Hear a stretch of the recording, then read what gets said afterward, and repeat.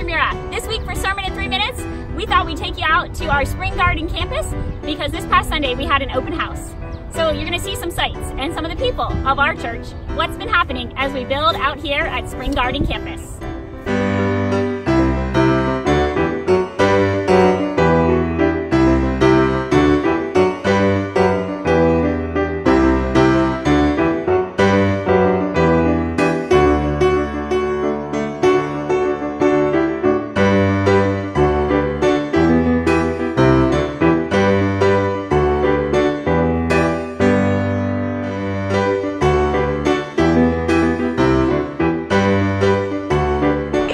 Hi, I'm Rich, and I'm out here at the new campus for Carlisle United Methodist Church. I'm out here in the parking lot.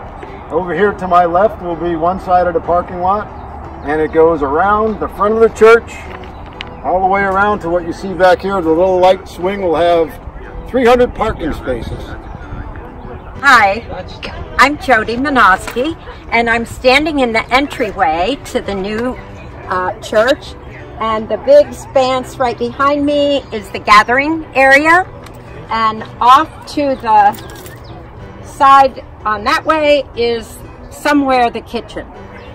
Hello, I'm Brad, and this is our gathering space and the sanctuary as we go back.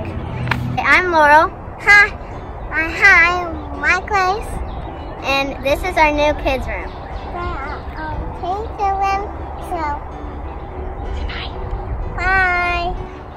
Hi, I'm one of the volunteer youth leaders. This is the new youth room, and right next door to it, we have the gymnasium. I'm Kerm. I'd like to welcome you to the offices of Carlisle United Methodist Church.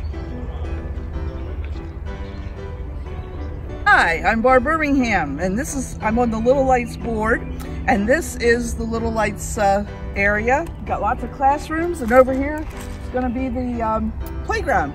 We're all set. Yay!